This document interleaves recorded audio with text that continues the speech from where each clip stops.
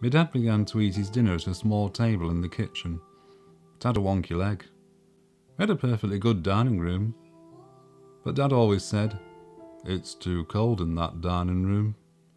He used an old cruet set, a wedding present. Seemed rather out of place on that wonky kitchen table.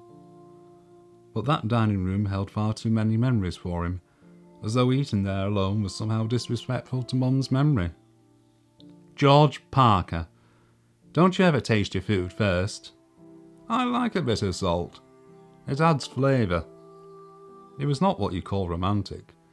For the Ruby anniversary, he bought a brand new caravan, without telling Mum. When it was delivered, she got quite a shock. Well, one thing's for sure. It's not going to fit on my finger, is it, George?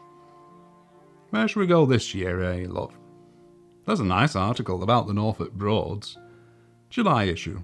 Lovely picture of the lavender fields. I hate lavender. Makes me sneeze. Well, where do you suggest then? Paris. Paris?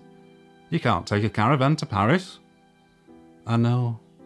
Oh, George, think how romantic it would be. Norfolk is good enough for us, love. Yes, George. After Norfolk, they diagnosed Alzheimer's. He had to surrender his license, and the little caravan was sold to a builder from Nottingham.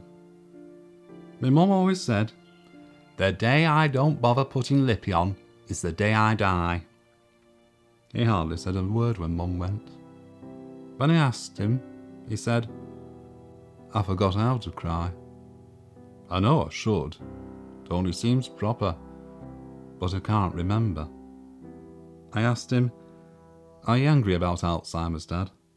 What it took away, what it did to your life? And he turned to me and said, Whatever life throws at you, the good and the bad, you just take it with a pinch of salt.